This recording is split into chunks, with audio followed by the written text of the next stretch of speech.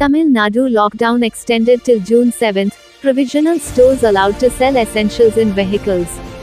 The Tamil Nadu government on Friday announced extension of total lockdown for another week ending 6 am on June 7. As the total lockdown draws to a close on May 31st, I have ordered an extension for a week, after a district-wise review on the severity of COVID, to prevent the spread of the virus and to save precious lives, Chief Minister M.K. Stalin said. The Chief Minister said the existing sale of fruits and vegetables through departments concerned would continue to exist in all districts to meet the daily requirements of the people.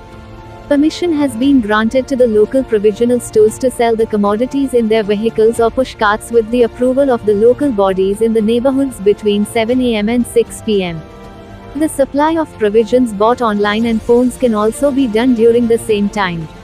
I have also ordered the Cooperation and Consumer Protection Department to supply a kit of 13 grocery items to all rice card holders from the month of June in all PDS outlets, the Chief Minister said. Stalin appealed to people to avoid stepping out of residences or for meetings when the state is under total lockdown to prevent the spread of infectious disease. Thanks for watching subscribe to Chennai Daily Updates.